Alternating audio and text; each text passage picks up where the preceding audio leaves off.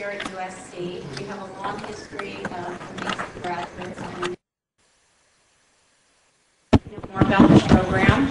Um, feel free to talk to me after the panel. I'm Bridget Mullins. I'm the brand new director of the program. And we also have several faculty members here, or a few faculty members here this evening. We have Nan Cohen here, and we have Sid Stebel, who's there. And I think that's our faculty crew unless I'm, oh, and who's our moderator. So, um, so thank you for coming. Yes, we're thrilled to have this group of professionals and practitioners here. I'm blocking some of them, but you'll see them in a moment. So I'm pleased to welcome Sandy Climan, Joel Gotler, Neil Tolkin, and Mark Von Arx. And there's more in the program about our panelists, and also Gina will be introducing them to you. Can you hear me all right? Um, so I also want to ask you to turn off your cell phones and noise makers before we start. And I want to thank and acknowledge Dean Susan Kamei, Ebony Cunningham, Natalie Kaler, Jackie Vanadian, and Sarah Hammond, who are, are have been uh, invaluable assistants tonight. Uh, so this evening's program, as I said, is an offering of MPW. This is a graduate level creative writing program. We offer um, uh, the study of poetry, nonfiction, fiction, playwriting, screenwriting, and TV writing. And you'll notice on your chairs tonight, there's a, there's a poster for Molly Peacock. She's reading next week at this time. And I know that you're probably here because you're interested in cinema, but there's a great deal of, of, of uh, poetry in cinema, and I hope you'll come out and you'll hear Molly Peacock read. There are a few of her poems there as well, so take a look at them, and um, she's an amazing poet and reader. So this evening, we're looking at the collective cultural object of the film and how novels and stories become objects of interest for adaptation. Thinking about this evening, I was reminded of one of my favorite short stories, which is The Swimmer by John Cheever. And there's a line in The Swimmer near the end where um, the narrator says, Burt Lancaster had done what he wanted. He had swum the county but he was so stupefied with exhaustion that his victory seemed vague. And as you watch the film, you really see that line come to life at the end of the film. The same is true in the film version of James Joyce's The Dead, the John Huston version, as the snow falls all over Ireland. And so if you are a word person, as many of us here are this evening, um, then you get deeply struck by language and image, and seeing the transliteration is a fascination. But there are also practicalities, as we know, and we are fortunate to have as our moderator a presence who can navigate us through the ineffable, but also the tangible and the practical, and this is Gina Nahai, who organized this evening's panel. Um, towards the end of the discussion, time permitting, we will open up the floor for questions. So as you feel questions brewing, um, make a mental note of them. There'll be time. Gina Nahai is the author of four novels entitled Cry of the Peacock, Moonlight on the Avenue of Faith, Sunday Silence, and most recently Caspian Rain. Her novels have been honored with many awards, and she has also been awarded with a, a wide readership. Her novels have been translated into 18 languages, and they prove the sustenance of the imagination through story is the most valid and vital sustenance of all. Uh, Gina's writings have also appeared in the LA Times, the Chicago Tribune, and many other periodicals. She holds a BA and a master's degree in international relations from UCLA, and she is a graduate of our program, the MPW here at USC. You can see this admixture of erudition and creativity in her work, as well as an exquisite empathy for her characters. The reviewer for the LA Times writes that Caspian Rain, quote, is a beautiful study in disappointment and loss and the conflict between duty and desire. Gina Nahai shows her characters just as they are, damaged. They are keenly aware of how they'd like to change their lives and how limited their options really are. End quote. As a teacher and presence at MPW, Gina Nahai has been limitless in her generosity and lucid in her instruction and example we're very fortunate to have her on our faculty, and I'm going to turn the evening over to our moderator, Gina Nahai. Thank you so much.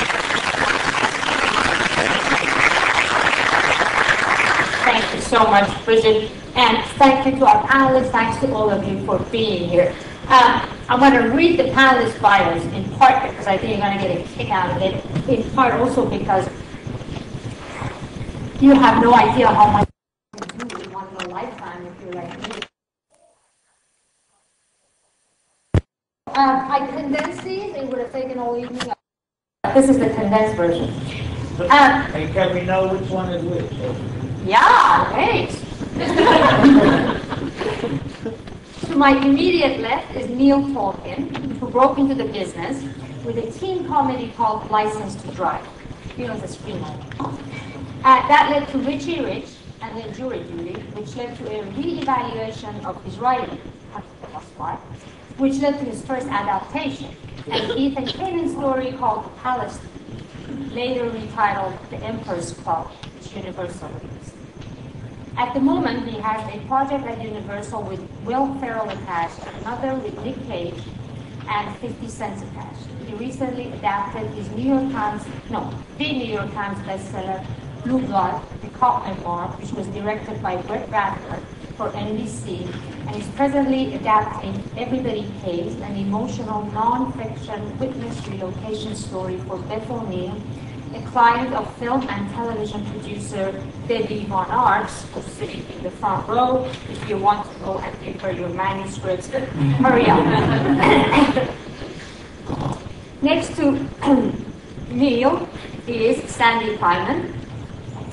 Sandy is president of Entertainment Media Ventures, a company active in media investment and strategic advisory work, as well as motion picture and television production. He's also chief executive officer of Reality Digital. In the worlds of film and television, Sandy's productions have included his work as executive producer of the first digital live action 3D feature film, Reality's digital U2 3D, his role as co-executive producer on the CBS primetime series Robbery Homicide Division, and his work as a producer for the feature film The Aviator, directed by Martin Scorsese, starring Leonardo DiCaprio, for which Sandy was awarded a British Academy Award and a Golden Globe Award. Prior to forming Entertainment Media Ventures, Sandy was a member of the senior management team at CAA. As a talent agent, he represented many major actors, directors, writers, and producers, including Danny DeVito, Robert De Niro, Robert Redford, Kevin Costner, Michael Mann. He also represented a significant group of film production companies, including Jersey Film, Wildwood, Tribeca, and Take Productions. He serves on the board of the American Cinematheque, the Chief Executive Leadership Institute of the Yale School of Management, the Fulfillment Fund, and Whistling Woods International Institute for Film, Television, and Media Arts in Mumbai, India. He also serves as an advisor on entertainment and media to the World Economic Forum and its annual gathering in Davos, Switzerland. I swear if I know you've done all this, I would never have spoken to you, Sandy. And actually enter the whole bio, what it shows is you can't hold a job. People actually have doctors had the same job for his entire career. Uh, next to Sandy is Joel Gotler, who is a founding partner of IPG. Now, I took this off the website. An agency with a mandate to improve the compensation and recognition of authors and to stand up for literary authors and values in the marketplace where they've often been underrepresented, aka ignored, aka left to die alone on the sidewalk in the cold and starving outside Sandy's offices in Burbank. Joel started his career over 30 years ago at the William Morris Agency in New York and was made an agent upon signing superstar Mama Cass Elliot. He had a brief stunt as, executive assistant to the head of production at Universal. From there, he was the only partner to the legendary H.N. Swanson, who was the progenitor of the book-to-movie business in Hollywood. He was a partner with Michael Ovitz for three years, and he's been instrumental in publishing deals for best-selling authors such as Sue Grafton, Piers Anthony, Tim LaHaye, Sting, and Pete Rose. In addition, he exclusively represents film and television rights to James Ellroy, Ed, uh, Edgar Award winner Michael Connelly, Pulitzer Prize winners Richard Russo, Frank McCourt, and James Lee Burke. He also represents a long list of literary estates, including John O'Hara, John Ball, F.X. Toole, Andre Dubus, James M. Cain, and Stanislaw Lem. Coming to the end. Joe is also responsible for the underlying rights to such additional films as The Untouchables, Beetlejuice, Chocolat, In the Bedroom, The House of Sand and Fog, Dangerous Minds, Indecent Proposal, The Glo- Glory, LA Confidential, Black Dahlia, Zodiac, Starship Troopers, White Oleanders, Band of Brothers. His most recent packages include The Birthday Party by Stanley and Alfred sold to United Artists, and The Wolf of Wall Street by Jordan Belfort, sold to Warner Brothers with Martin Scorsese, Leonardo DiCaprio, and Terry Winter attached. And finally, next to Joe, is attorney Mark, Mark Von Arx, who is a member of the Motion Picture Affairs Group at CAA in Los Angeles. He received his MBA from UCLA Anderson School of Management and his JD from the UCLA School of Law, where I was waitlisted twice and not never admitted, and therefore I became a writer I switched. Um, he started his career working as a private practice entertainment attorney and served as EVP and general counsel for two new media companies, In Media and WHN, um, a Los Angeles-based business-to-business licensing industry exchange and provider of e-commerce solutions for over 60 major media brand holders, including ABC, NBC, Universal Fox Broadcasting, Paramount, Comedy Central, MTV, Playboy, TV Guide, and the 2002 Winter Olympics. Mark is married to producer Debbie Von Arx, who is sitting in the front row in a white sweater. okay, so thank you for your patience with the bios, but come on, you know, you had to know. Um,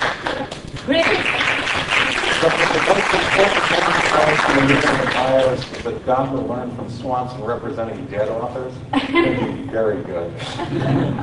well, maybe we'll die and see what happens. Because Authors are great, relatives. Exactly. So I was gonna start, uh, Joe.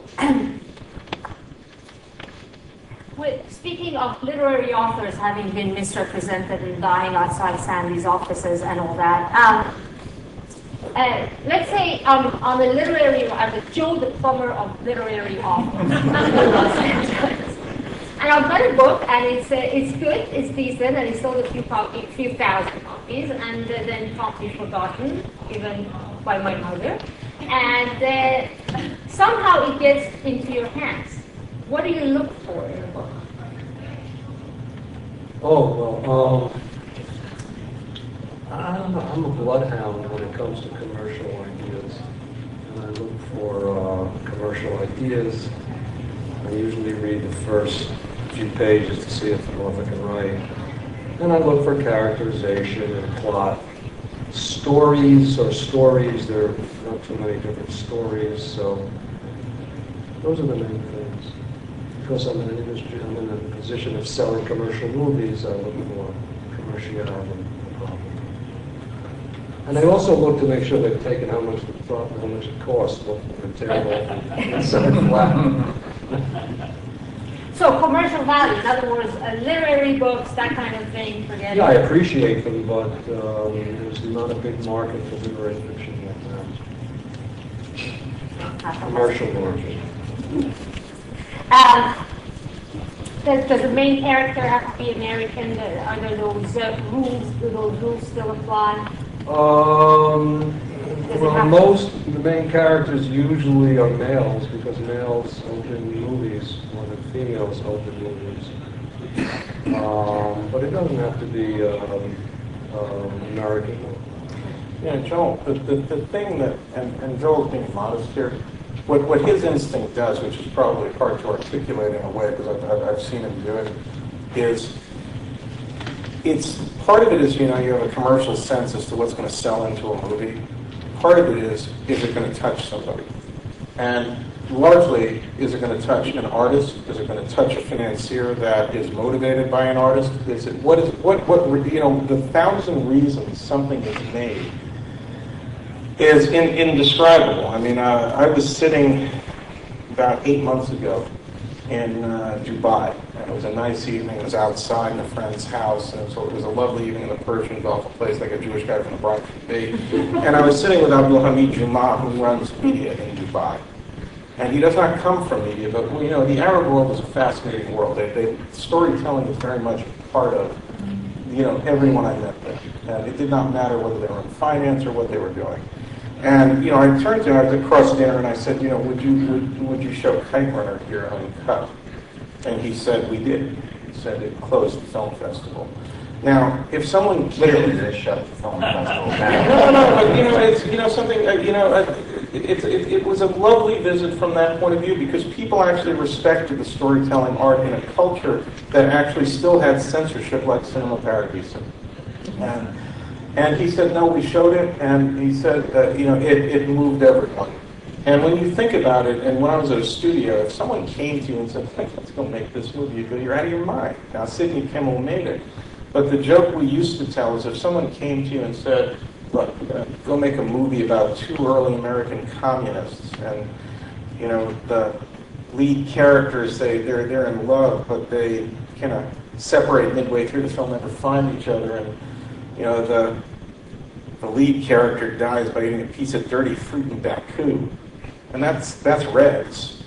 And, you know, you go, um, who's, who's going to make certain stories? And books, you know, are the foundation of some of the most complex films that will be remembered. And whether it is studios, whether it's independent financiers, or as as De Niro, I, I used to you know read scripts that I didn't think clients should make because I thought they were not commercial.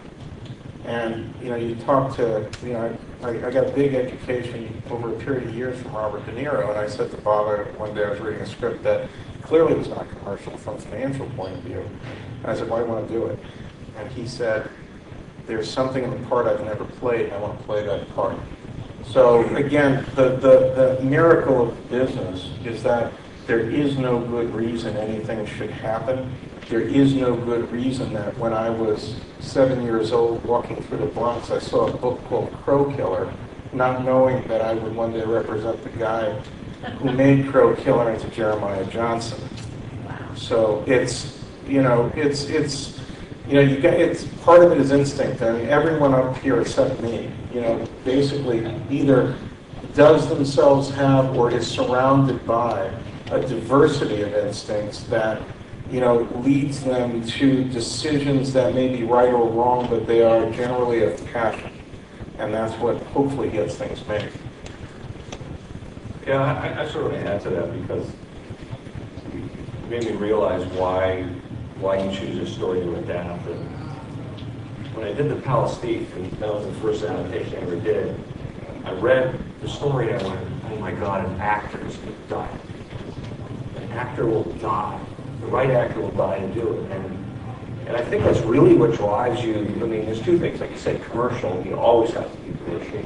If you're not, you're you know you'll just sit there and nothing will make a difference. But if you can somehow get the two going together, I, I always feel like the actor is the way in. If you can get something that's a passion to the heart of the actor. Well, but before you get to the actor, you have to get to the actor's agent's second assistant to get it to Yeah, the but I always- assistant. Uh, You have to get it to the agent. But I always feel that if you can write it, if you can write a great story with a great character, somehow or another, it's going to find its way. Does That's it? how Do- do- For me, it happens. But I, I mean, you know, you, you, It does. well, once it gets to people like this, it's, it's going. Right? No, but the question is, how, how does it get, Sandy, would the Kite Runner have been made if it hadn't been a huge international bestseller? Would anybody have picked it up and said, let me make this film about this little Afghan servant boy?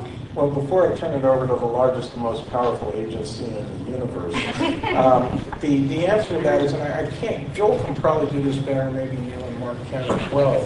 There was an old adage when I was at the studio that, you know, a true bestseller is harder, a great book is actually harder to turn into a great movie than sometimes finding a story that otherwise would have been overlooked. And, you know, again, I, I can't come up with the best examples of that, but I'll give you an example of one that comes to mind, which is when Stephen King is a very successful writer, but short stories like that which preceded Stand By Me um, often would have been overlooked. Um, and Redemption, I mean, again, I mean, Mark, you know, in, in the bedroom, I mean, th- there are many things that are gems that are to be discovered. And probably, you know, global bestsellers get the attention, maybe you remember them because they, as books were global bestsellers, but the number of films that actually had a literary spine and, and had a, a, a book or a short story behind it. I'll give you a good example. Is it took nine years and, enormous brain damage to me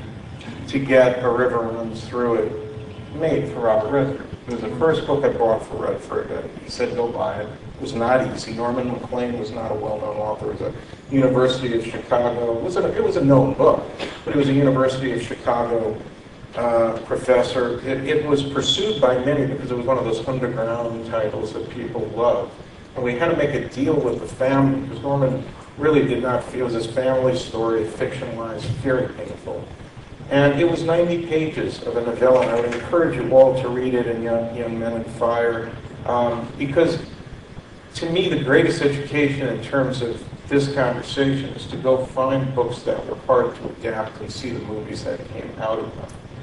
And that truly was, if, you know, there are many people who will never know that that was a book. They will never know Norman Maclean's name. But I mean, Mark, your literary department, as Joel's, you know, entire life, you know, you've spent, you know, they spend ages trying to find material, source material. It, agencies uh, may appear from the outside to be monumental fortresses with moats that, that don't allow artists in under any circumstances, but the, the reality is that, that agents live for, they live and breathe looking for that material. They, they want to find that material more than, than life itself. That's their job, and the agency is, is designed to try to produce as much material as possible. There's, there's legal implications to reading unsolicited material that just gets mailed to you. But, but if, if a good piece of material exists in the marketplace anywhere, it will find its way to someone who will try to sell it, who, who, fall in love with it, try to sell it, become its champion. Everything doesn't get made, but we've already named 15 movies that, that if you wrote down the plots, show, show the studio executives, the major studios, they would reject them out of hand. Uh, House of 75 is now uh, John Bond is like the obvious commercial best-selling James Bond kind of opening weekend, but that's a movie that got made. Movies get made, and, and, Sandy's absolutely right. You're selling to a very small audience at first. You're selling to the filmmakers and the artists who want to make it. And you, you need to only convince enough people to finance to get the movie made. Um, and movies made for a price make money. Uh, a small movie made for uh, a million, million and a half dollars has a hard time. If it gets a theatrical release, and if you have the right cast in it, it will get a theatrical release. It has a hard time not making. The movie will make money, and there's a lot of ancillary markets to, to sell it into, and over time it'll pay for itself. And, and so people will take gambles. There's always financiers. There's always there's always agencies that will get behind stories that are not necessarily. Uh, you know, number one bestsellers or, or big opening weekend movies because they want to see the movies made. Uh, Joe, was, you were saying that 75% of films made in Hollywood are from based on books. Yeah, I'm not sure of the exact percentage, but it's a huge percentage. Isn't that amazing? Also, there's an interesting phenomenon, uh, what I call bounce, which uh, is this, if I can describe it accurately. Angela's Ashes, won the Pulitzer Prize, was on the New York Times in the first position for 17 weeks. And then I started to get offers from Mark's, uh, Mark's company on behalf of some of their clients. I said to myself, well, why didn't they make me an offer the first week it was on the bestseller list? or the second, or the third, or the fourth, or the tenth? I don't get it. So what happens is a book, short story, non whatever it is, bounces. It bounces among everyone in the industry, and finally elements attached to it.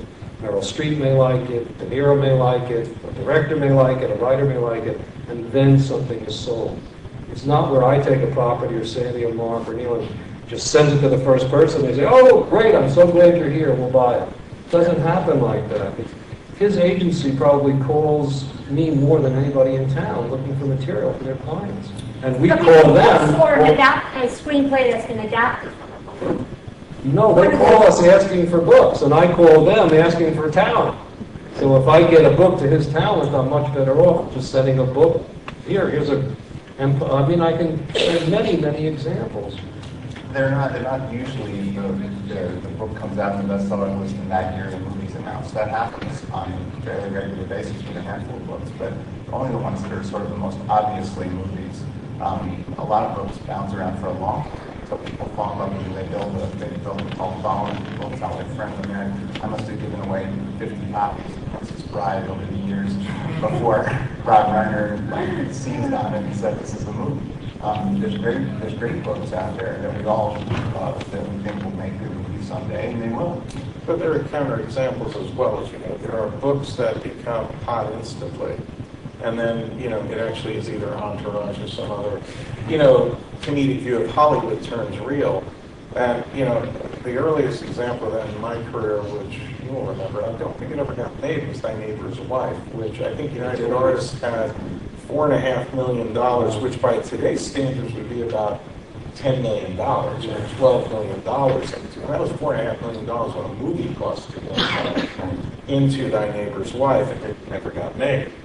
And, you know, there are other books that have been, I remember when I was at MGM, uh, in the, when MGM was MGM in the early, uh, you know, the early 80s, and we would go through, there were some books that had been bought by the guy whose name you will probably not know, named Sam Marx.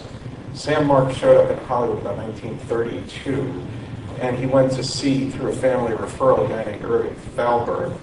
And Irving Thalberg, you know, you know, said, look, there's, a, you know, we we just canned our story editor, so you want to be that guy. And he became MGM story editor, which by today's standards has one meaning. In those days standards, it meant you had an unlimited budget to buy books and plays.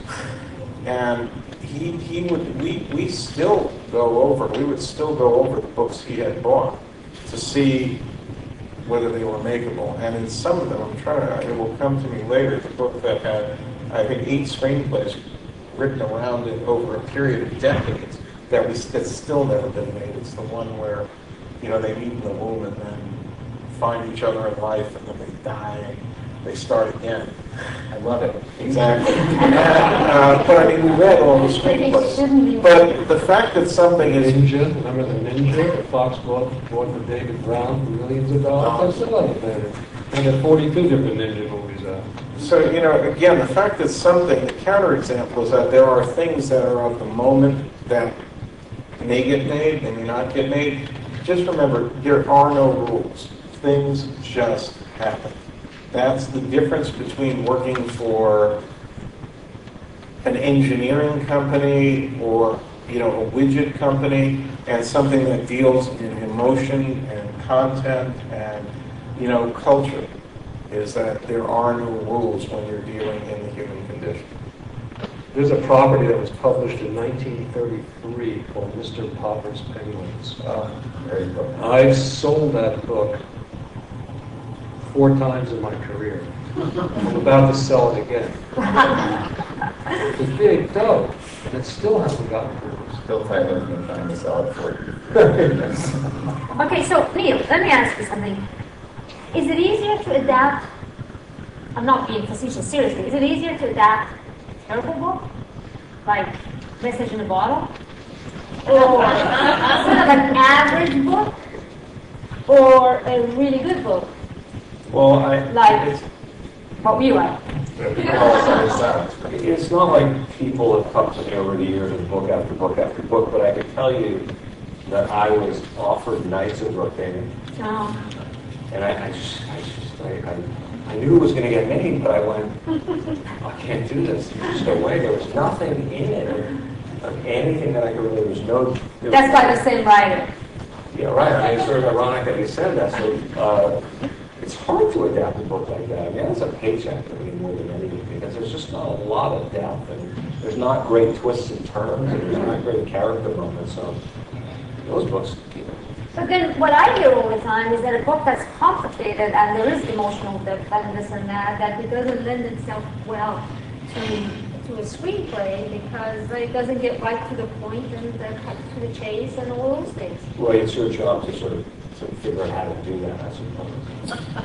You know, I mean, it's, I mean, it's, it's hard to say. I mean, the book that I, that I just adapted now collapsed three different characters into one and. it was Which one's 20 that? Everybody Pays. Oh. It was 25 years, we made it 12 years, and there- was no relationship between this character and that character. I mean, they had no relationships, and you could make it work. I mean, it was a great challenge, but the character was so strong and the terms were so great that, and the message is so fantastic that it was worth doing. I mean, but I don't, I mean, what's a bad book? Like, Well, like, I mean, what what would be a book that you would say that would be interesting? But some bad books make bad movies, like Towering Inferno, maybe, you know. But, uh, but then some bad books make great movies, Yeah. like The Godfather. Sometimes the movie ends up being better than the book, and, and, and I think elevates it. But you know, the, the, the question you're asking, I think, is, is, is, shouldn't be left alone, because you're asking, are there things that are too complicated to adapt? And I think Neil touched on that, but, you know, we each have had our, you know, educations, whatever they are, whether it's in Hollywood or just in the creative process. One of the earliest uh, books that I was uh, in proximity to was, uh, was a film that I would encourage you all to go see, because I doubt any of you have, or many of you have, which is the Milagro Beanfield War. And the book was, I don't know, 800 pages. It had a zillion stories in it. And, and I remember I, I had just joined CAA and, and I was going to go see Redford, who was our largest client at the time, um, uh, in, in, in Santa Fe. And they were doing reshoots. And the studio had written this thing off as, if you can believe this, $17 million was considered an expensive film and he was being judged more on the budget than on what it was, and there was a sense of death and despair about it. You know, and and I read the screenplay on the plane that I just got. You know, in one of the miracles of young agenthood, they said, you know, go. And he said, come see me. And we were setting up his, uh, you know, what would become North Fork, his independent film company. And I read this, the screenplay on the plane down, and, you know, dozens of storylines had been turned into, you know, eight or ten storylines, and that was still too many, and the script was incredibly dense. And I was there, and I watched him craft what were dozens of storylines. The script had taken it down to a more manageable number of storylines, but still not a movie. And he actually, in the last moments of the editing of the film, turned what he basically took it down to three storylines. And he turned the story of a fight over water rights in New Mexico and a horrible first editing of the film into the story about how an old man and an angel save a town. And it's an absolutely beautiful film that was slaughtered because the studio did not have faith in it, did not market it, and the press lambasted him post-ordinary people on his next directing effort, which was a beautiful, almost European film. And, you, you know, again, there are no rules on books. I mean, you know, it's, it's, there are no rules on source material. You could say, how do you take this simple concept and turn it into something as rich as what a great mind can do? And I think as you go through whatever processes you're going through, and I assume most of you are here because you're in a writing program where you write, you know, if it, keep testing it out on people and see how it touches them. Because when someone says, I don't buy the elevator pitch, that doesn't mean it will not make a great book or a great movie.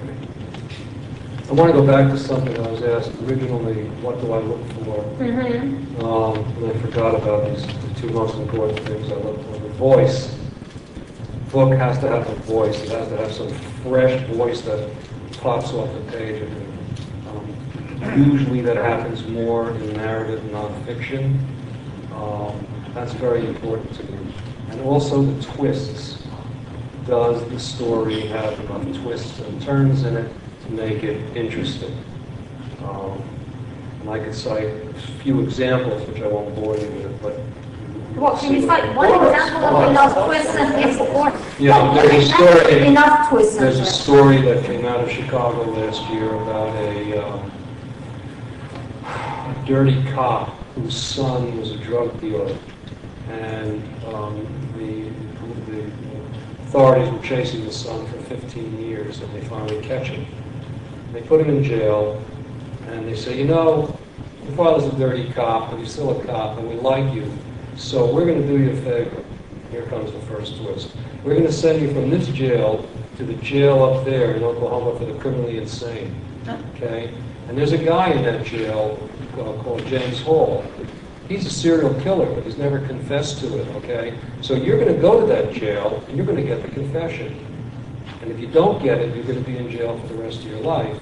If you do get it, we'll let you out. First twist. Second twist, he's in jail. He meets, uh, he meets James Hall, and a whole series of fantastic things happen.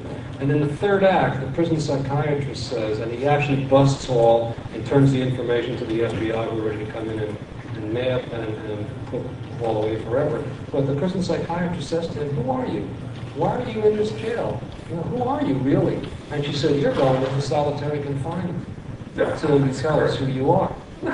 They put him in solitary confinement, and there's a prison for the in- the criminally insane. And now he's banging on the door saying, wait a minute, I'm, you know, you know, sh- you know, I'm this guy, I'm undercover for the Chicago police. They say, sure you are. And then she's, she's uh, Princess Margaret, and he's the Pope, okay? And they keep him I don't in- know about him, but I have potential. and his handler, person who he was giving the information to, to bring to the FBI, was actually Mike Ditka, the football player's daughter, who was an FBI agent. And after seven weeks of in solitary confinement, they didn't hear from him.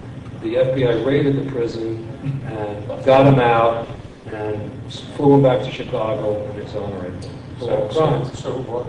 This is uh, Paramount, Graham King, they paid over seven figures for this on one page. I can see. Tough job, though. One page, that's all I had, one page. That had one twist, two twists, three twists, four twists, and that was... Neil, why is that a tough And job? Bill Monahan, the Academy Award-winning screenwriter that departed, attached himself to it. Okay, so, but that's, I look for Before or twists. after you got seven figures? You know, but About the same time. when when you meet with studio executives, it's, where's the turn? What's the turn? Where's the turn? What's the card you're gonna flip over? When are you gonna flip a card over? Hitchcock How you gonna called surprise? No, we- That's what you hear all the time. Where's the turn? Okay, what's the big surprise? Well, No, no, I need bigger surprise. What's the character turn? I mean, that's, that's exactly. Yeah.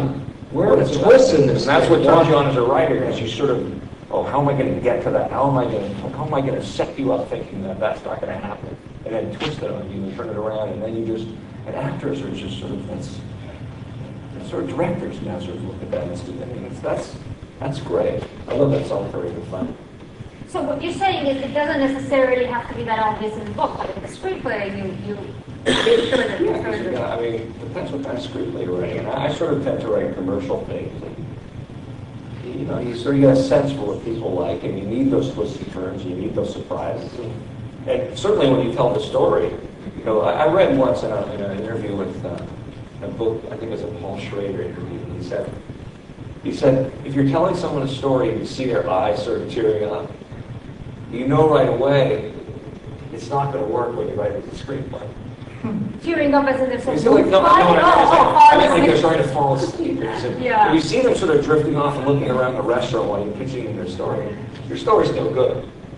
And I really do believe that. I mean, if you can't keep your friend's attention, and how do you keep their attention? You keep it with, and they send him to the prison, and here he is, he's got to look for a buddy, and throw him into solitary confinement. But how can you get out of solitary confinement if you can't? I mean, that's, and people go, oh, it's amazing. Now, may not be an easy movie to write. There's a, there are two or three other twists in that story that I haven't really talked about, but uh, those are the main twists. Here's another one, uh, which Universal bought. Um, a cat burglar is going to rob a brownstone in Chicago, and he robs the wrong house. He robs the house of the head of the mafia. This is a true story in Chicago. And this guy's going to come after him and kill him. He's killed seven people on his way to getting this cat burglar robbed like a paparazzi goes into a hospital and takes a picture. Oops, he took the picture of the wrong guy. He shouldn't have taken it. That's an obvious twist that hooks you right away. John Gardner, you know, when he talks about writing a book, if you're not hooked in the first sentence or two, that's it. It's over. Ball game's over. So Sandy, when you, when you were selling Robert Redford the idea of doing, uh, um, ordinary people. What was the hook? Well, was first, the twist? I got there, I, I got there after that, and, and, and so did CAA. Um, but, uh, That's a good question. But I'll tell you, just to be a contrarian on- on what's being discussed, um, I would, I would challenge you all to go out and look for films where there really aren't those startling twists that have both succeeded and moved you. I mean, I know that, that I can, you know, I try to conjure up some of them and, and, and, uh, you know, you just sort of sit there and go, wait, no, you know, take Chariots of Fire. I mean, I'm, I'm not sure, Chariots of Fire, that's great. It's like, someone comes and says, like, let's go make a movie with no stars about the 1924 British Olympic race, you know, you know, track team. Yeah, let's go. And one of them's like, you know, we won't run on Sunday. And then you got the Jewish guy who really, and, and you know, you guys should, let's do this. Yeah, let, wow, let's do this. I, and, you know, I actually had to sit at the, you know, this is in prehistory for me. I mean, we had a table at, excuse the expression, the only young people at the Friars Club in those days. And I sat next to a guy named John Boland, who was Laddie's driver. And, you know, we at MGM had passed on the film. And the Ladd Company picked it up. And it, of course, won like 11 Academy Awards. And every time it won one, John would stand on a chair and scream. But there, you know, there are always interesting character developments, but I, there are no radical shifts in, to me anyway, like we're discussing in Chariots of Fire. But I bet there, I mean, I don't, I don't remember that movie well enough, but I guarantee it has great characters. This fabulous There's character. a Character arc twists, That's, Yeah. that's what I mean, there's still gonna be a great character turn, a betrayal or something, which doesn't have to be, you know, There's like a- like a- like a commercial twist, but still, there's a character twist that, But there, there's generally conflict, there's, there's, there's, you know, but that which touches people, I mean, I'll give you a good example of, a, of another film that, you know, when you think about why films are great, um, David Beal is probably not the best person to quote on things, but never mind. you have to be a certain generation, but you're too young. No, it's good. And, uh, it's about like, the only time I'm it's too like, young. it's, it's funny now, it's like talking about, it's, you know, rest in peace. But he used to say that you have three opportunities to, to succeed with a film. You know, one is in the script stage, uh, another is while you're shooting it, and the third is when you're editing it. And the, the, and again, if you have a book and you have underlying material, you know, maybe that arc of, you know, the creative process of writing is extended backwards. But I remember we read Witness, and I tried to get my unnamed boss at the time to make Witness. I mean, Ed Feldman had it. Ed Feldman's not a, he's a wonderful producer whose name you may not know, and Ed is still credited as producer of the film. But if you read it, and I gave it to my boss, he said, you know, this is an episode of a TV police drama. And the truth of the matter is, it, it, it was until it got into the hands of Peter Weir and Harrison Ford. And, you know, in the script, a line, they dance around the car. Mm-hmm. Or there's, how about the barn raising? Right. Okay, the barn raising may be one of the most dramatic, emotional, telling scenes of that era of cinema. Because in, but when you think about the story that was told, it was not terribly complicated. That guy showed up at the end, and he shot him. You know, that was it. It was over. But it was that journey you took into the Amish country, that love between Kelly McGillis and Harrison Ford, that special moments that happened all through the film. You know, films touch people differently. People walk out of them for different reasons, just as when you finish a book you're going to walk away with a with a profound experience, and it can be very different in terms of the styles of the author and what they have to convey. Um, and different cultures have different responses as well. You know, The Name of the Rose, which was in Europe a phenomenally successful book, and the film made, I think, a hundred some odd million dollars outside the U.S., and it made two million dollars in the U.S. That was brilliant film, actually. And it depends on your culture, your patience, and your and your sense of storytelling. That part of it came from whether you were familiar with the underlying material. Part of it came from the pacing of films that is different in different parts of the world. and again, I'm not an expert in this, but the success and failure of any property is highly dependent on factors that are not always in the control even of the studios or the filmmakers. Okay, so, so, Mark, I have a book and I want to, um, But you do have a book, you have four. I have four. None of which will ever be made. That is So, not true. Trust me, um, really. You know what's terrible is every time you publish a book, people want to be nice to you and they say, oh, you published a book, is it going to be a film? And you say no, and then they say, oh, well, maybe somebody will make it into a film. book's clearly a If I wanted to make a film, I would write a screenplay. And then they think, oh, that's right, you know, salary grades. Yeah, sure. Okay, but seriously, so you have a book and you want to make it into a film. What's the actual process? What's the best way to go about it? Is it better to get a screenplay written about it? Uh, on, adapted it and then shop it around? Is it better just to do nothing and hope for the best? And how much can I get for it? Speak to the heart of the question, right? Um, there, there's no formula for how to get a movie made out of anything. Um, Well, But, not anything, but a book, seriously. but if you, uh, no, really any book, I mean, there's no, there's no, right, there's no like, you can't follow these certain steps and expect it to have the result. Um, But the question of whether you write a screenplay or not really should depend on whether you are inspired to write a screenplay, whether you think you're capable of writing a screenplay. Um, If you, if, it, it it never, couldn't hurt the book's chances of being adopted to have already gone the step of having a spec screenplay written well, based on the book that, that shows somebody how it's going to feel and look as a movie. Uh, it's not, it's not a necessity. Uh, books have been sold on book proposals long before they've been written.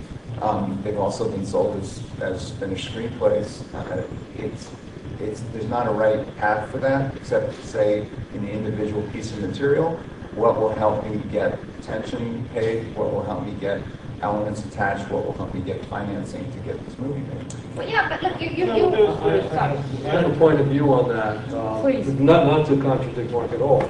I say to an author who wants to adapt their own book into a screenplay, I say, well, wait a minute, why don't you get paid for it? You want to write a screenplay, write a screenplay that's not based on your book. Because if they option your book for a movie, you get paid for the option, and if you're lucky to get a film, you get the adaptation, you get paid for the script. So if you want to, want to write something, don't write your book, you've already written that, write something else. That's my own point of view. But you're asking two different questions, and it needs to be treated, I think, as two different questions, because you can get very confused. You're asking a commercial question, an economic question, and a practical question on the one hand, and then there's a creative question on the other. On the, the question you ask is basically, how do you get it made? And, you know, the answer I always give to that is you figure out, or your representative figures out, what is hopefully the optimal moment of heat around a project, and then lots of money comes. There's the other question, which is, Wait, can you, can you explain heat? you know, it's, it's, you know, Momentum. the, the, the sense that people are competing for your project. Where can you get people to pay attention and compete? You can start a whispering campaign, all the dramatic things that you can think. So that's how, maybe, how you maximize your money. So when Mike Ovitz went out to sell Jurassic Park, you know, he was selling the literary history that preceded it, and freaking big dinosaurs, and Spielberg was going to buy it anyway, and Michael It's Michael Crichton, Crichton. Michael Crichton, Crichton, and, and, and rightfully so. And you know, Michael Crichton writes books that are highly commercial, and for the most part, they have historically turned into movies by probably by intent. I mean, you'd have to ask Michael that question. There's a different question and a much more important question, which is who is the right person to turn something that is essentially. There are people who write for commercial value, and there are people who write because um, effectively uh, it's uh, it's the pain of their life and their knowledge of their life or stories that touch them, and they are and, and they're not mutually exclusive. And people who write for commercial value may also have strong opinions about the creative elements that will be best to work on the understanding and translation of their literary work into film. But Norman Maclean's a good example. Here's a man on his deathbed, and one, we will not say which actor went out to meet him because you know we, we don't know 100% all the details of it before Redford and tried to buy the book. And the story went that uh, Norman said, "Okay, let's go fishing." And uh, for those who haven't seen A River Runs Through It, it's a, family story set against the tragedy of two brothers, their father who's a minister, and the metaphor used for the lives that they are evolving and working through uh, revolve around religion and religion and fly fishing. And until you read the book or see the movie, how it's all intertwined is it's quite magical, poetic, and moving. But this is Norman's family story, and his brother did die horrible death. And the actor went out and they went fishing. They went down to the river. And Norman said, "You know, it's a good time now to put your fishing license in your hat." And the actor said, "What fishing license?" He said, "You need a fishing license." At which point the actor said, "You must be kidding." At which point Norman said, "I will wait here for you." Drive to town, take my truck, come back with a fishing license. And that was the end of the discussion as to whether that person should adapt a river runs through it. And starred. You know, Redford uh, sent himself and Barbara Maltby, who worked with him, to interview Norman on his deathbed because much of what's in the film um, had to be drawn out of Norman to actually fill in the drama of the film. At one point, Norman, I was reading the transcripts of those interviews, and Norman uh, was saying in the interview transcript, um, I have not spoken about this since um, my youth. And he said, even today, it is almost too painful for me to talk about my brother.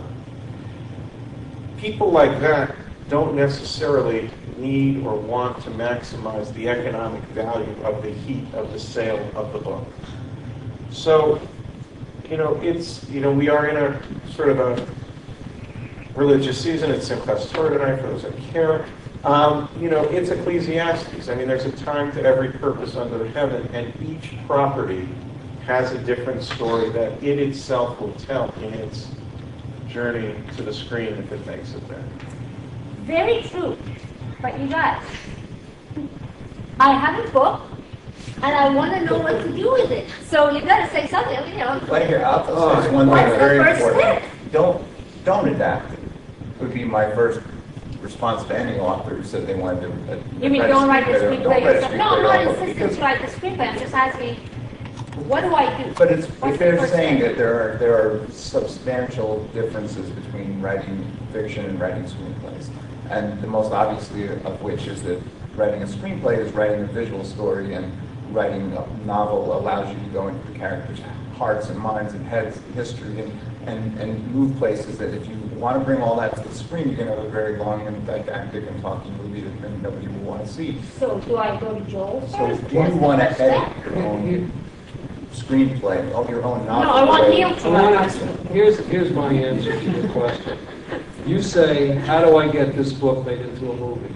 You bring it to me. I ask the same question. How do I get this made into a movie? Which is what, basically what Sandy is saying. Who do I go to? How do I know who to go to? Okay? And should I go to these people? So it's really not an easy question to, who's hot at the moment? Wait a minute, so hot? if I know these people, I can just circumvent you and just... Well, it depends the level of your relationship. Yeah. I mean, it's a business of Look, With with publishing, you have a book, you have a manuscript, you find an agent. Different. I know, that's why I'm asking you. You want, to, but what you're asking is for us to be your agent, which is actually is fine. No, we're gonna do this right now, we're gonna do this right now. Tell you how I like this. too much. No, no, Okay, no, no, no, no, no, but this is, look, it- it- Joel made this saying, Mark, here's the bottom line, because we, you know, I have, you know, I have a general idea of your writings and a very profound affection for you. The advice, here, you're a storyteller. The trick is, you know, you're like, you're like any artist in any medium. You know, you'll be an overnight success one day, and no one will look at the years that preceded it of honing your craft and telling your stories. So the best way to get your stories heard, I would say, are, are, are three ways. There's the personal way, which is the passion with which you lead your life and you talk because you write about a world that you come from, that other people, as we were talking at dinner, are only beginning to dip their toe into. I sent your book to the head of the studio. He did read it. He loved it. Whether he saw a movie in it or not, he learned something about Iranian culture.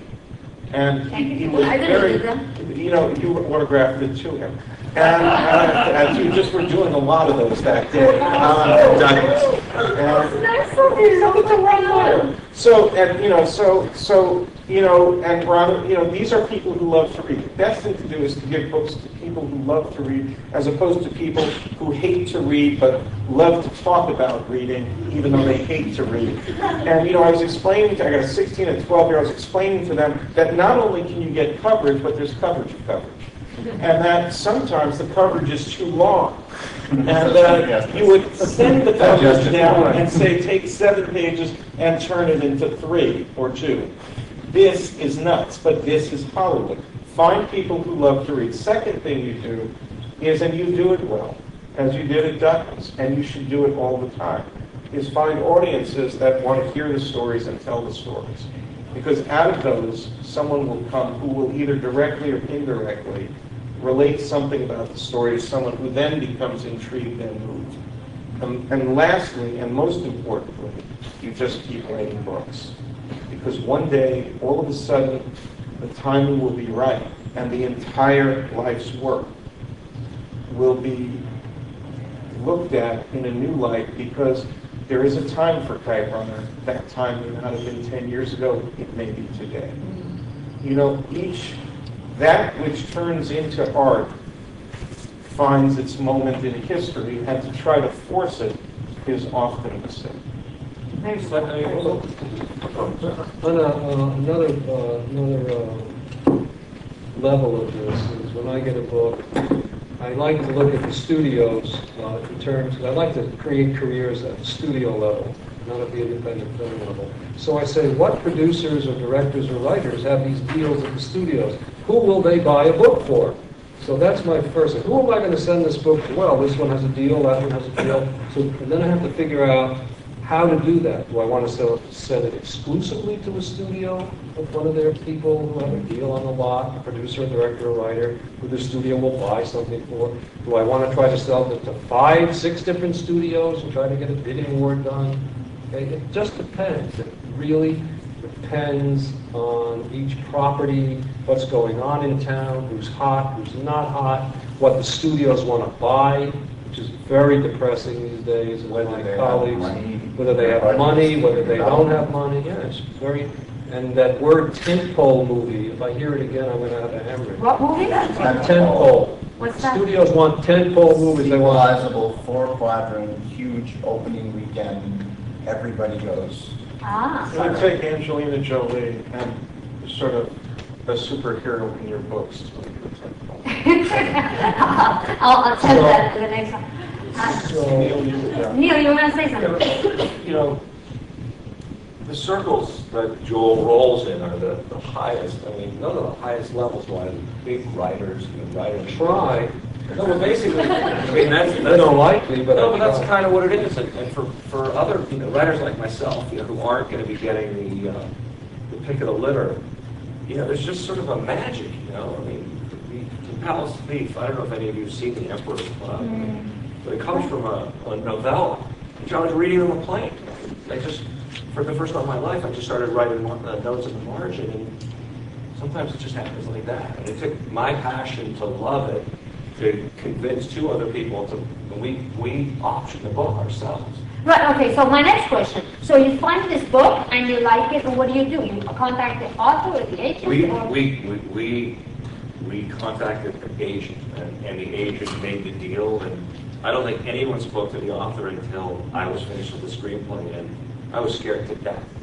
To speak to the I writer? said, give it to him and have him read it. Oh. And, you know, it was. Didn't you think you should talk to them before you? Well, you gotta be careful because then you sort of develop a nice relationship and then you start to feel bad that you're gonna rip out the heart of one of his favorite characters. And so you, you know, you, you, you sort of use them the way you need to use them, but at some point you just have to cut bait and, and do what you're gonna do and pray that when they get it, they like it. And if they don't like it, well, they wrote the novel, you're writing the movie, so there's sort of that magic. So you got, you option the book and then you, you write it on spec and then you go. Yeah, I mean, I mean, you asked me why, I, you know, because you know, I had just written Jury Duty, which was a Pauly Shore movie, and I was like, Oh, yeah, why didn't you change, Yes. well, because I wrote Jury Duty, which was a Pauly Shore. You needed to cleanse his Uh, palate. and it happened to be at the, it wasn't the peak of his career. And, you know, and no matter what, if you write a Pauly Shore movie, I don't care how much of money it makes, nobody thinks you can write. But it was just sort of time to just sort of, I think the really important point to take from that is that Ethan Canin didn't do something to get Yeah, people that's to read that book. He he picked it up in an airport because it looked interesting, he read it, and something happened. Yeah. And that's the magic that happens to ninety-nine percent. yeah, that's, I mean, that's exactly. Alfred Hitchcock did most of his movies from books he bought at the airport, really. He saw a paperback, and Go to the saw a airport, paperback. put your books on the rack. Okay, One so, interesting, I want to tell you one interesting anecdote. I was flipping through the trades last week, and I get to page three of Variety, and I see this heading, and I read it, and I said, "The movie's being produced from one of my books? How could this be? I haven't sold the rights." So what somebody did is they adapted the book on their own. They got a production company. They didn't realize the production company was going to make an announcement. They thought they could get the money from the production company, buy the book from me surreptitiously, and then work their machinations. That's gotta But be the best day of your Yeah, life. it, it- it didn't happen that way, and I was on the phone with the heads of the studio, and I said, "You're kidding. How Oh, could this is gonna cost you. So this is gonna cost you, and uh, they had to wire me the money, and they had to give me two tickets to the premiere. But the thing is, you don't want to kill that deal. no, no, So you don't want to kill it, because then you're hurting your author, you're hurting yourself. You want to keep goodwill with the studio if you can, if it's somebody who's legitimate. But when they announce that the movie star is attached, you, your leverage changes, and you can make a better. You- To answer your question is so hard. It's really so hard. Every single instance. well, writing is hard too, but we do it. So, Um, okay, so, you know, here's another difficult question. Mark, don't tell me that it depends, because I know, but what kind of like, uh, what's a, what's a reasonable option? Money. Serious. Reasonable option. I mean, Okay, not, not for what's his name, uh, Look, it, it it is absolutely a sliding scale based on a million factors, but the obvious ones are how pre-sold is the title.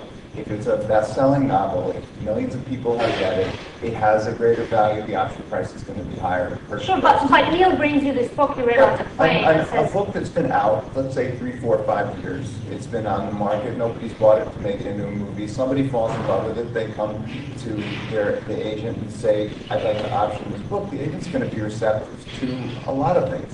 What he's gonna look for is, first of all, is, is this person capable of getting his movie made? Because he doesn't wanna waste two years of the book's life sitting with somebody who's gonna fumble around in the screenplay and never go anywhere with it, eh, for very little money.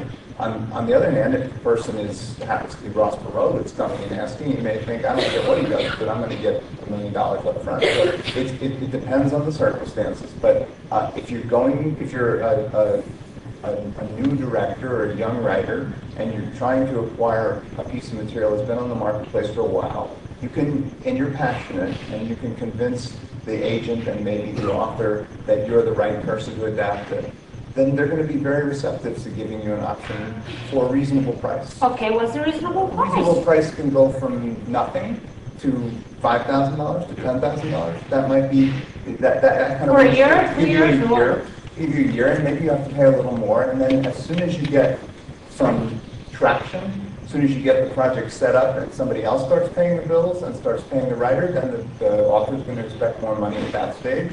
And it's all gonna be against some purchase price, it's gonna be based on the size and scale of the movie.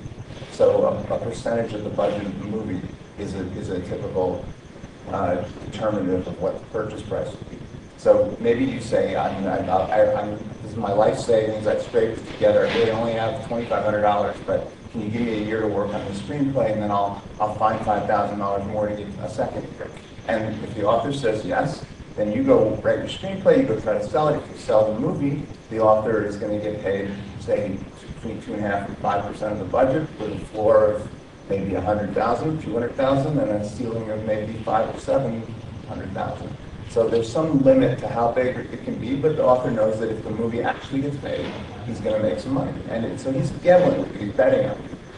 But you've got to be very, very thoughtful because people focus too much on the money alone, The option money?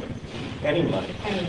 And the, the option money, as Mark says, comes with a fairly elaborate economic calculation if the movie gets made.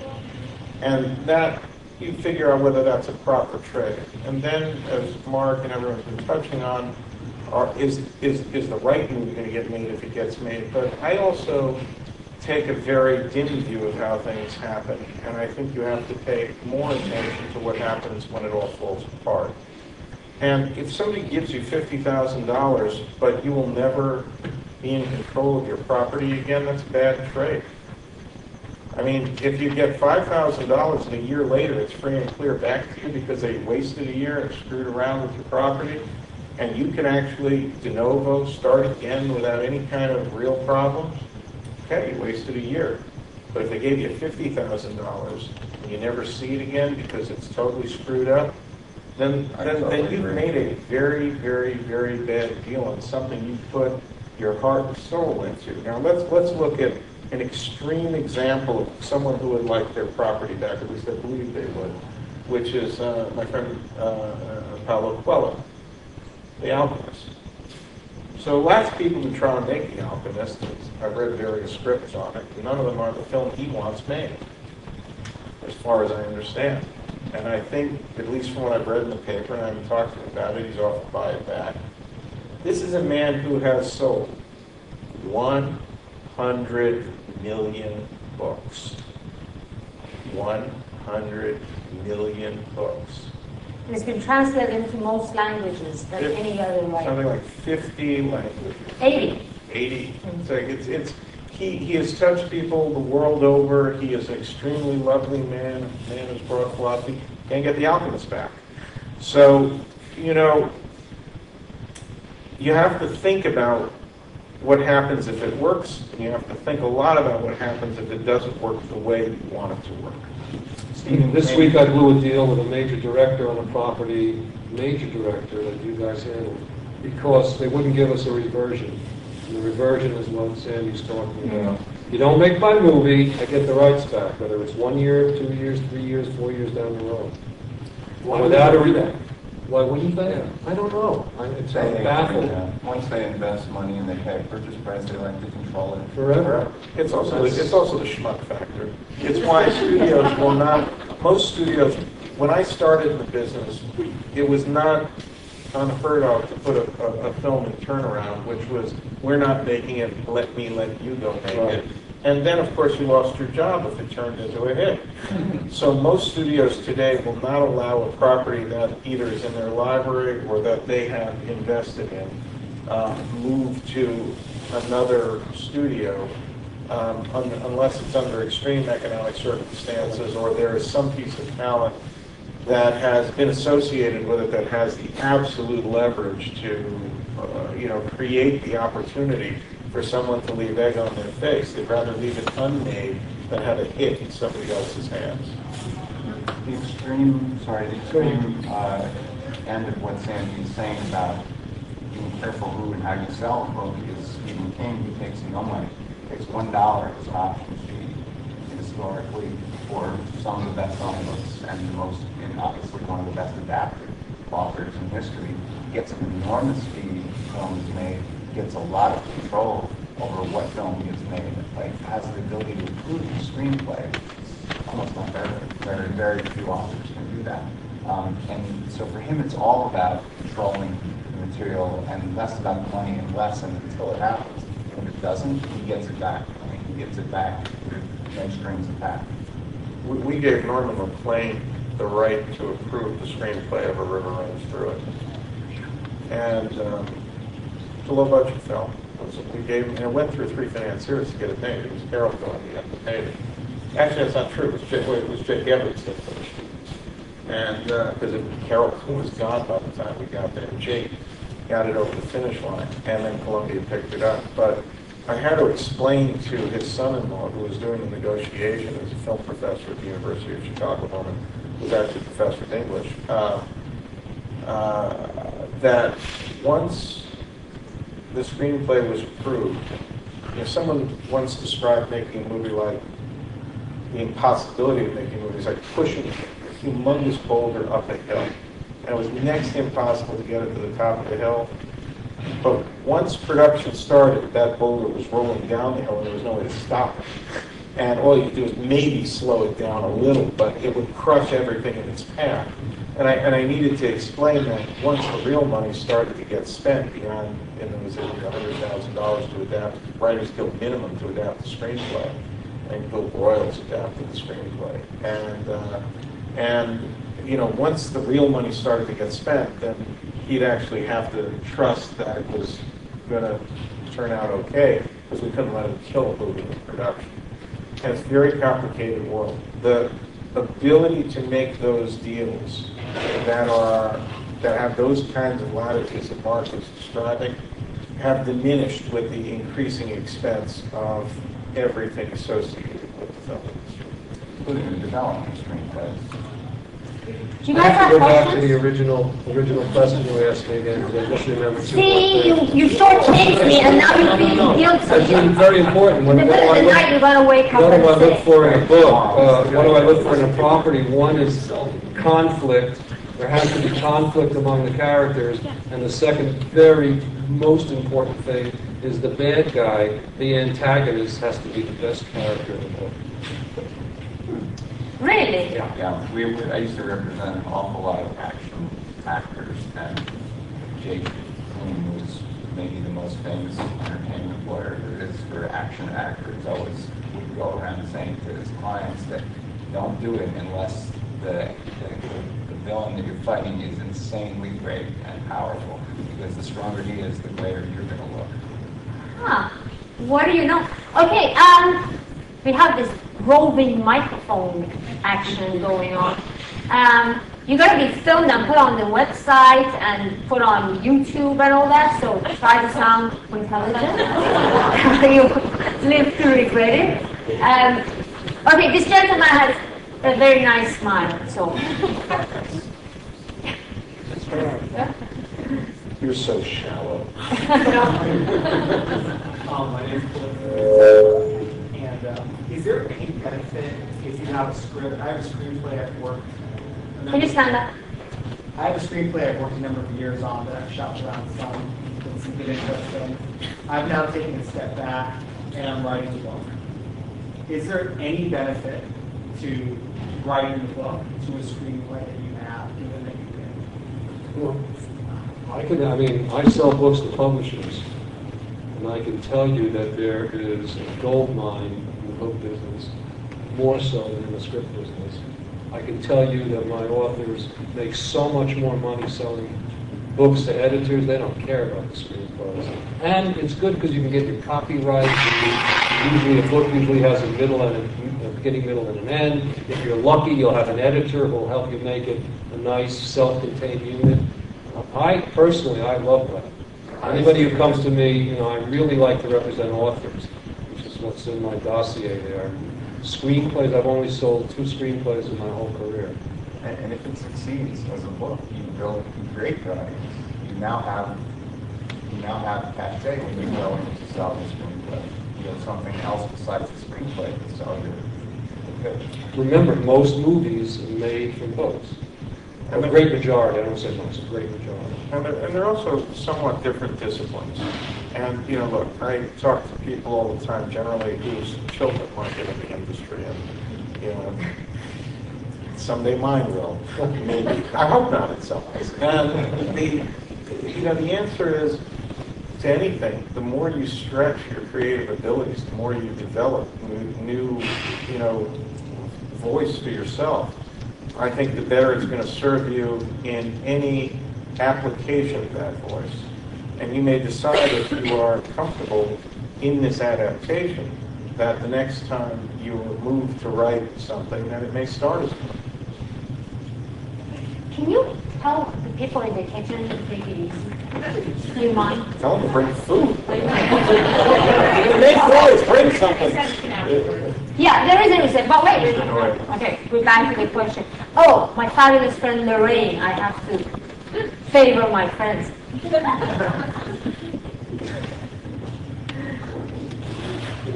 I found a wonderful book a few years ago that I thought was going to make a perfect screenplay.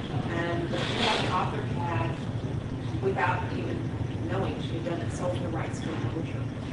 So we approached the publisher and took off running and left both of us in the dirt. Um, How would I do that differently another time? Just explain how she sold the rights to a No, publisher. she's getting the publishing, the film rights. right. that's Oh, okay, all right, all right, all And you're saying, when you say took off running, you mean he went and sold it, took your idea, sold it, and succeeded, but left you without any involvement? Is Right, that he, point? he, he went, oh, this could be a movie, and he just took off and left me. I mean, the publisher did or the author did? Publisher Yeah, did. what The can author you didn't do? want. That's What can you not do? Yeah. But in the future, if I were to do the same thing, if I were to find a great book, would I approach one of you guys? Well, Well, the first thing you could do is is options, really. Okay, If you go to them with money or with, uh, you know, with something that, that you control material, then, and for motion pictures, then you're in the driver's seat. If you're afraid to even have that conversation because you think you're gonna set off a light bulb and the guy's gonna run and get a better deal with somebody who's more experienced and pays more money than you can, then you have very few options. There's, there's a line of cases about implied contract that say that if you come to somebody with a novel or original idea and you suggest it in the context of a business dealing and with the understanding implicit that, that you're going to work together and you'll have to come to some sort of agreement in order to go forward, then might actually have some recourse in that situation. I, I'm not really sure that that law is, is, is, has ever proven to be something that, that's, that you can rely on. The facts have to be very specific. The fact that, that already is in the business of representing the book and selling it to all different marketplaces pretty much discounts that. I mean, uh, the, the, those cases come out of something called Desny v. Wilder, where somebody came into Billy Wilder's office and said, hey, we should make a movie based on, you know, uh, it was Romeo and Juliet, set in a modern setting. And, and, and he said, great, and went off and did it without the guy. And there was a, the, the court said, no, you can't do that. There was a disclosure and there was an implied contract. That's, I wouldn't be relying on that for your, for your livelihood. It's very difficult to prove. It's very difficult to, to win that argument. The best and only thing you can do is control the material, which you do by getting either a relationship or a contract. option. And check out who has the rights before you do anything. Yeah, and you know something, when you're dealing, look, guys, it's like the friends whose daughters want to be actresses. And, you know, you guys like, oh, I'm a writer, so I'm really smart. Well, the the matter is, in, in the presence of opportunity, you do dumb things, just don't do it. Is read the contracts before you sign them. And if someone says to, you have to do something because it's industry practice, and if you don't, it's not going to move forward for you, and it defies your common sense, go talk, go find, you know, your, you know, go, yeah, go get a second or third opinion from someone who's legitimate, and, which you can all find, and, and, uh, and, and, and lose your head. And it's like, you know, when, you know, the casting agent says, show up in the motel, you know, not far from here, and you're a 22-year-old ingenue, you don't know. Because, like, logic will tell you that you're going to be on Nancy Grace. So don't do it. Uh, Don't be the literary equivalent of, you know, a CNN late-night story. Uh, I know that most nonfiction books are sold by proposals. How likely is it to sell a novel the same way with a proposal? If so, what are you looking for in a proposal for a novel? Tough. It's tough, unless you have a track record, it's very tough. You could get away with it if you're really a terrific writer, you know, with a chunk, 150 pages and an outline for it, it's tough. That's my answer, it's just tough. Not that it can't be done, it's just tough. By the way, my first agent was organization, so Is that right? Oh, I miss it. And you're still alive. This guy's Well, you know what, It's you know what, you know what, you know what, you know what Swanee would say to you, you know, in terms of writing, what should I write to sell? Say ransom notes. No, no, Yeah. she first, she's a lady. You gotta. You know, you know, we're going, I like his smile, because she's my friend to sexism. This is a tough here. Oh, yeah, This is like. I was gonna say, uh, It's like review. I thought someone was gonna say, why do you have four guys up here and no women in the, from the business? And the truth is, uh, because the women, uh, wouldn't take my call. Uh, go ahead. No, you can only ask one, because then Angela has left. Actually, ask them both, we'll decide which is more interesting. Um, the first one is, uh, how does the entertainment industry get introduced to short stories and novellas? Another one is, what is the future of the music industry in, in light of the economic crisis? The music industry? I mean, the entertain, The the. film industry. Well, How do you guys get introduced to The short stories. short stories and novellas? You read them. well, through publish- publishers, New York literary agents, uh, Same way you do. agents all over the world, you go to the, you know, you go to the uh, Book Soup and you pick up the Hudson Review and the Antioch Review and the Paris Review and the Kenyon Review, the New York Times Book Review, the same way we all do. Yeah. And the, the state of the entertainment business, I think I'll leave the stage. The entertainment business is a mess, but, and the economy is a mess, but traditionally, it's uh, a somewhat recession-proof business. People need entertainment when they're down and when times are hard. I don't think it's gonna evaporate, although it's under a lot of pressure, has a lot of its own problems related to the unions and, and, and vertical integration and, And the kinds of things that It's Sam under- is doing, right? yeah, uh, Sandy's ruining. Well, no, no, no, Say it, you know, look, look, you you say know, you know, man. something, I, I I give you the bottom line is, I, I, I, you know, in 1992, when there was this false convergence between CD-ROM and entertainment, which just didn't happen, you know, I, I started to do venture, and, and I will tell you, to me, this is the most exciting time for creators. I mean, you're, you're moving to this digital platform that's not yet formed. There's an explosion of creativity.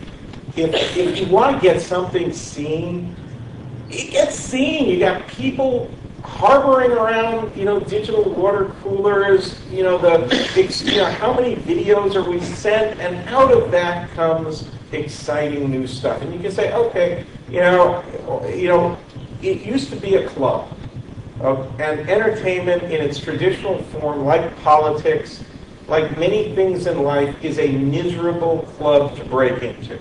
There's no way. You had to like find, you know, it's all of the jokes. I found the chauffeur read the script, gave it to the maid, gave it to the wife, gave it to the agent, gave it to the star. You know something? There's a thousand ways to get a great piece of creativity or someone's spark seen today. There's a democratization of media, and media will never be truly dem- democratic. But what there is is an ability to be filtered up and filtered through. And okay, it's not perfect, but boy, is it exciting. And we are all spending way too much time that we should be, you know, making a widget, you know, on our multiple platforms where we are exchanging ideas. And the positive thing is, and I don't see anybody in this room who is truly young enough to be of the generation. My kids' generations, they will be on an always-on digital platform. And bless their hearts, they're going to be smarter. And instead of learning things, they're going to learn how to ask questions. And our failure will to allow all of these new tools not to spark creativity. And and in addition to being able to get noticed and, and to promote using those tools, it's also very rapidly becoming the distribution medium.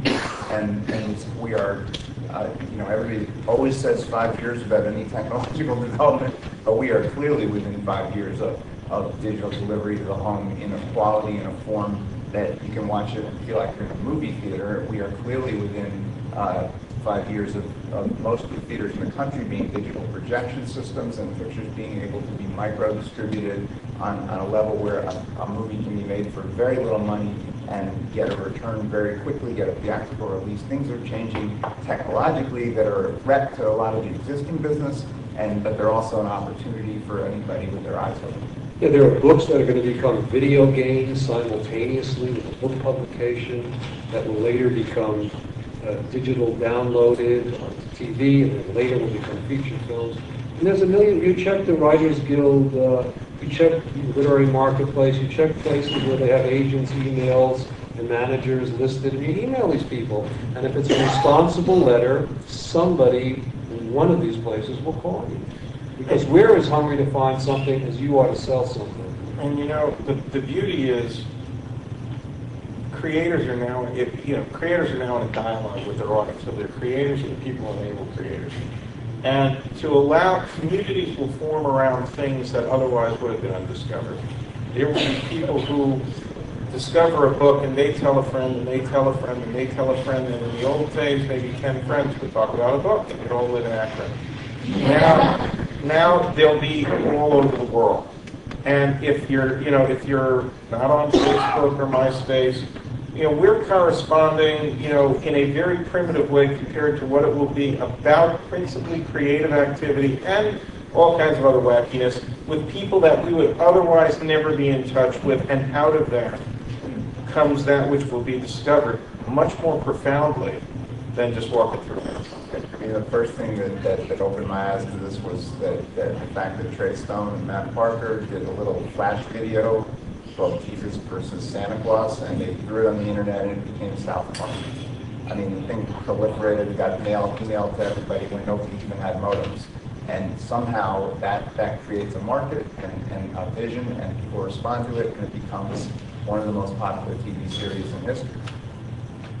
Andrew. Hi, um, yeah, kind of along these lines, I, I see the you know, emerging media markets as a prime opportunity to kind of revolutionize independent film.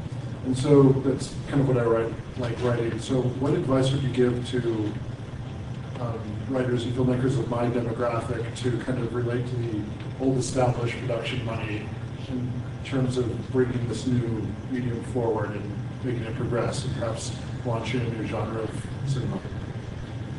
What new medium are you talking about? Well, like, you know, you have, like you were talking about the digital technology, and I see that as kind of a perfect opportunity for another independent film movement, kind of like what emerged with video. Well, sure, it's been in the papers, The independents are going directly to the uh, internet if they can.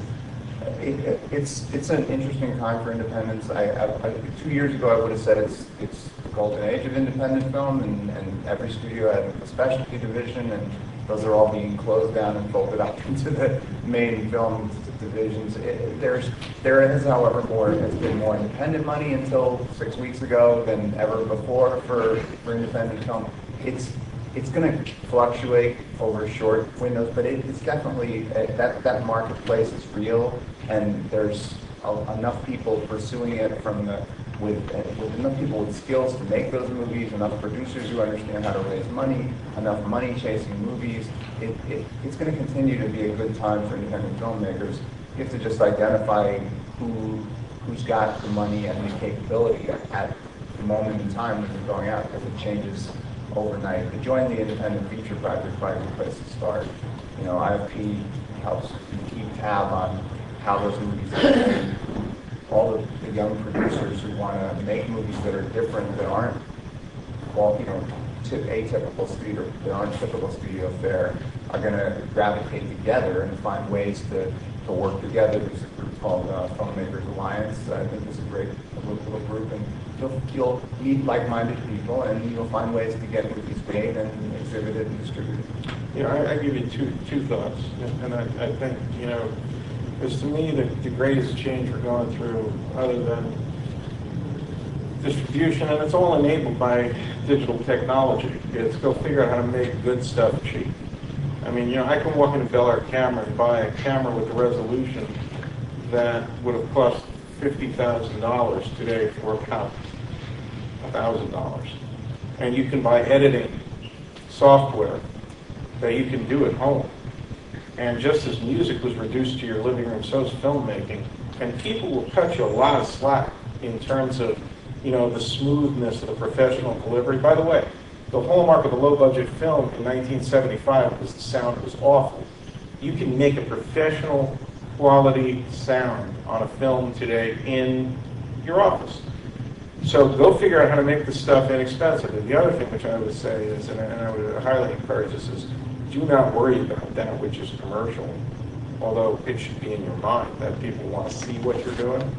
But particularly with independent film, go lead your life and go get some stories and not, you know, get out of Hollywood and go, you know, drive across the Baja or, you know, sleep your way across Mykonos or, you know, be in Africa and help with some, you know, people who need lots of help and come back with stories that haven't been told. And, you know, the good news is you can pack a camera today and everything you need to go tell those stories. And you don't actually have, you can be Danny Boyle. And you don't have to, you know, schlep around a $700,000 a day film crew. And somehow something good that people will see will come out of it. I hate to break it up, you guys, but our director is looking at me. So It's like midnight, isn't it? we have a reception. We have a reception. You can accost everybody at the reception. But thank you guys so much. It was very.